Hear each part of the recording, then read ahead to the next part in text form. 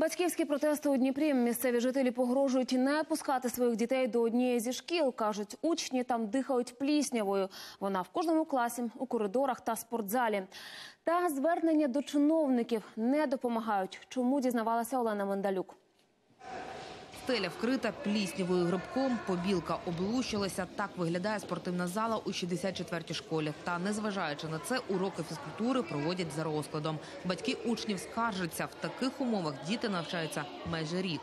Именно после физкультуры у них кашель начинается.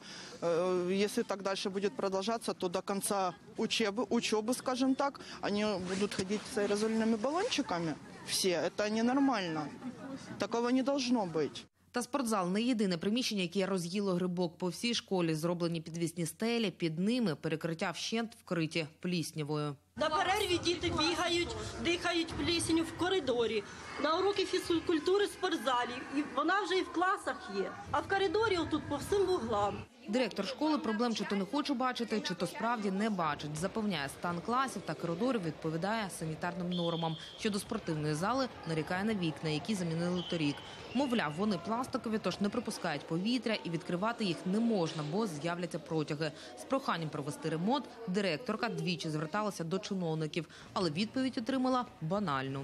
Питання буде розглянуто. При наявності фінансування це питання буде розглянуто обов'язково. Ми отримали відповідь. Батьки також написали десятки листів і до депутатів, і до департаменту освіти. Результат той самий. В департамент обращались, а нам прислали, что э, бумажку, деньги будут выделены, а, будет выделен на ремонт, если будет бюджет. Э, Бюджет на первое полугодие не выделен на нашу школу. Ми самі звернулися до міської ради. Там кажуть, ремонт зроблять протягом року. Нині працюють над документацією. Проводятся предпроектные работы для того, чтобы не просто побелить, покрасить, а оформить спортивные залы с учетом современных требований к подобного рода помещениям. 64-та школа знаходиться на околиці міста. Найближчий навчальний заклад за 10 кілометрів. Тож поки що вибір у батьків невеликий. Або їхні дитини й надалі навчатимуться у неприйнятних умовах, або треба буде возити її в іншу школу. Олена Медалюк, Іван Біленко, подробиці телеканал Інтер, Дніпро.